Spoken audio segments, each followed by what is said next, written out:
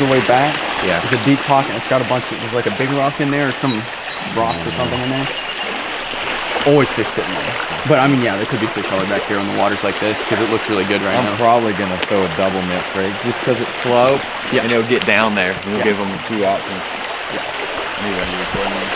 Oh, I should probably record something. Yeah, Um, so something, you know, it's early morning here in March, and uh, we're gonna fish this little run right up here.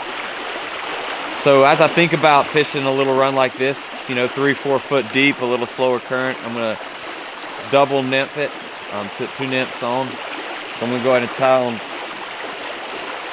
some more 5X tippet here. Something to always consider, uh, we, we talk about this a lot in the Euro nymphing game is, is weight. Um, so the water's kind of slow, but we want to fish two water columns this time of year. So I want a nymph that's going to be my anchor fly that's going to sit way down in the current, get right there on the bottom, and then I'm going to tie a smaller offering up top, which is going to allow me to fish two different water columns and, and see where the fish are at. And once I figure out what water column those fish are sitting in, we're gonna uh, be able to hone in on them and really slay them. So let's figure this out. Maybe we'll get up here and show you a fish. And I'll throw a lot of slack in that leader right like through this right here. You can even paste them and float them a little bit and leave that bottom colored section right on the water. And it will just, I mean, it will shoot.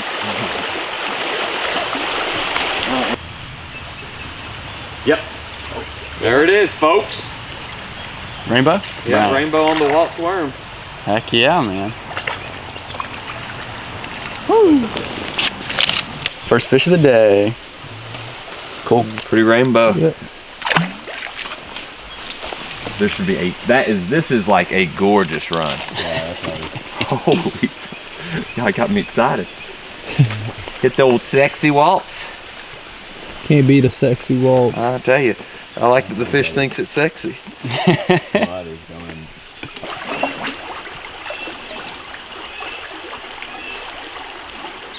We follow it. Nice, Brandon. Nice. Oh, sorry, guys. shit. No, put it back in there. The fish is just sitting right there. Wait, wait. Don't move. Don't move. Don't move. I see. He went to the other side. I like saw it swirl. I didn't get a good enough hook set. That was a nice Oh, fish. that happens. Yeah, that's what it is, man.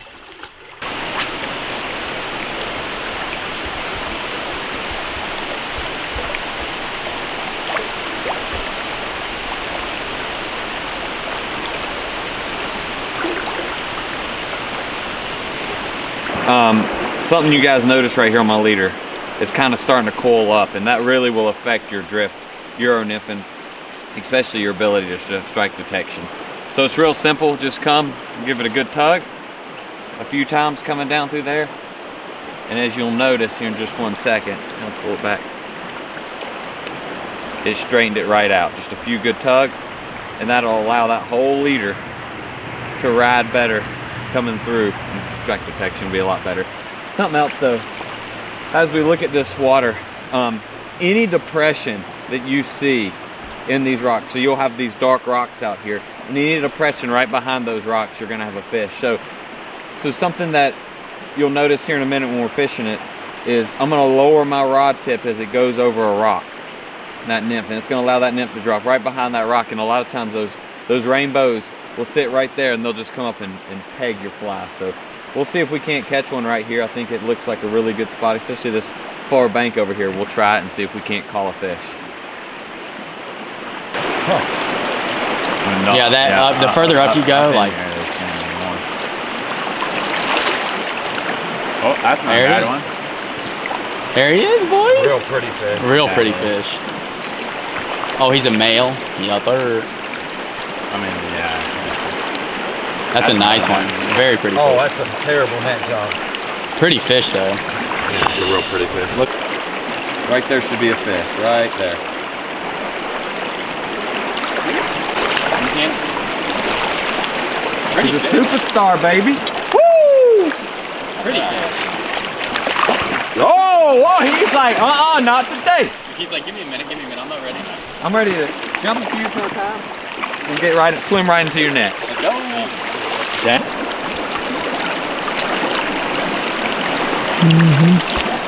Other thing to think about here is the way your feet are positioned um, according to the flow of water.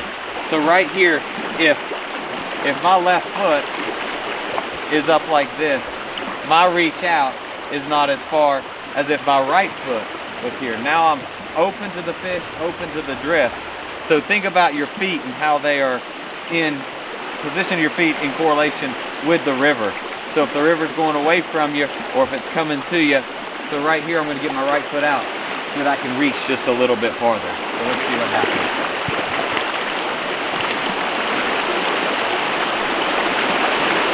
I'm gonna lift that rod to the to the flies and see how it's letting it sink in there now. Oh, there it's. When you say lift the rod to the flies, how much are you lifting? I'm more, more pointing the rod to the flies to be maybe a better way to say it. So like, it's a cast up, and then I point, literally point to the flies, and that allows them to sink. Ate that top fly when I set.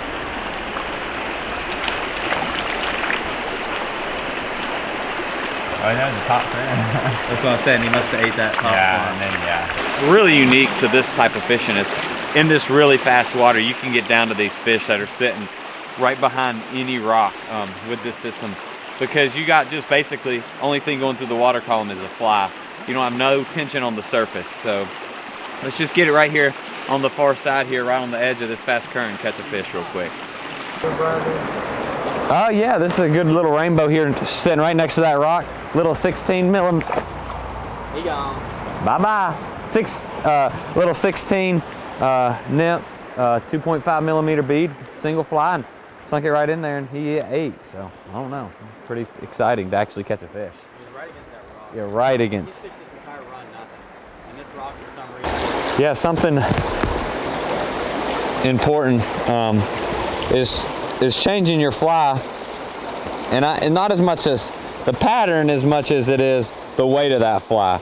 So right here in front of us, we have a a fairly deep hole, and uh, we're going to put a 3.5 millimeter bead on to get it down with some lead wrapped on this hook to get it down deeper and see if we can't catch a fish out of it.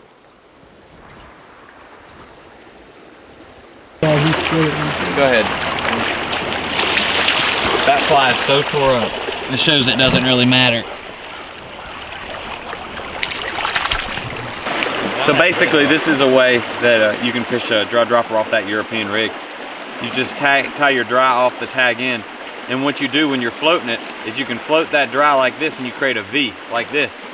And all of a sudden you're watching that V and watching that dry, and then all of a sudden those fish will just, if they're heat the net, man, boom! And you saw that big one just knock it. And anytime Yeah, a shallow one. ripple water, man, it's on. it's deadly. Yep. He, he was literally about to explain it to us, and then he sat into that fish. Yeah, I was surprised how big he was. I was too, man. That's the biggest one we caught today. This right here, you can, literally, I can create that V like that, and I can watch see that V open up. Yep. And boom, you can just watch it. When you can almost, it's almost a way that you can keep your dry from sinking without like exactly. Yep. affecting the drift of your flies. Exactly. have that- so, because you have room, that Yeah, you tag have that allows room. it to. Mhm. which is super cool. So that's kind of my argument or my issue with dry dropping a lot of times is that I end up dragging the flies when I'm trying to keep the, if the dry starts getting wet. Mhm.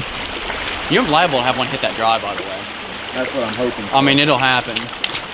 That last fish, folks, came right here, right out the slack water, right at the tail out of this hole. Um, you know, it's March and it's a good time to uh, fish that slack water. These fish are starting to warm up.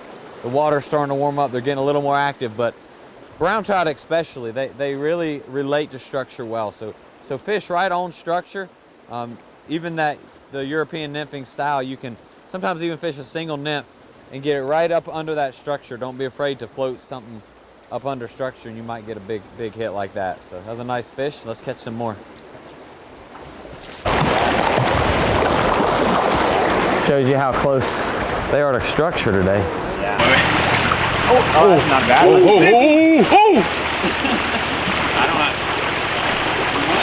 Oh, that's a good fish. Oh my god. Very big. Very big. I'll just send the recording. On a dry drop.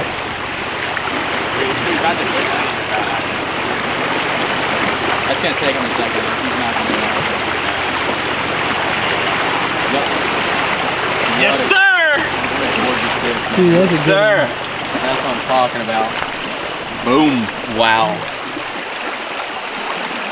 That's a nice fish. That's, so cool. that's probably a 17 inch. Look how long it is. Yeah, we'll yeah, measure probably him. We can Like, measure him. he's longer. We'll measure him.